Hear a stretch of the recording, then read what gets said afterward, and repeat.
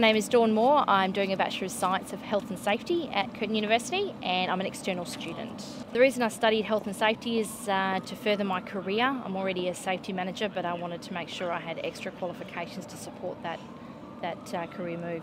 The reason I chose Curtin University is because they do have a very strong health and safety uh, degree here at the university, not only as far as health is concerned, obviously with their, their medical background, but also with the safety. They've got a very strong safety focus at the university and pushing those students through. The favourite part of the course would probably have to be a lot of the health units.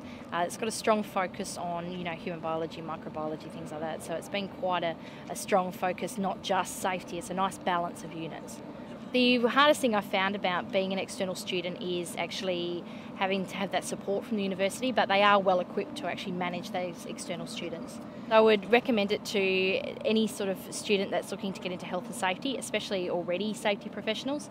Uh, the reason being is that it does sort of further your education, get you some good solid uh, education grounding to be able to do that sort of career.